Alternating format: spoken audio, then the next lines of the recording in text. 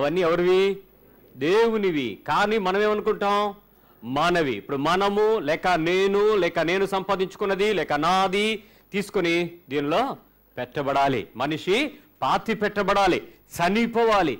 చనిపోయిన తరువాత లేచే పునరుద్ధాన శరీరము క్రీస్తు శరీరిగా తను లేపబడినప్పుడు మాత్రమే ఆత్మీయ జీవితం యొక్క మంచి ప్రతిఫలం ఉంటుందని మన విషయాన్ని నేర్చుకున్నాం. మరణమగునంతగా ఆయన తన్ను తాను తగ్గించుకొని క్రీస్తు క్రీస్తు ఎలా అయితే బ్రతికాడో ఆ విషయాన్ని మనం మాదిరిగా ఉంచుకుని మరి దేవుని యందు నిలబడడానికి సిద్ధపడుతూ ఉన్నాం.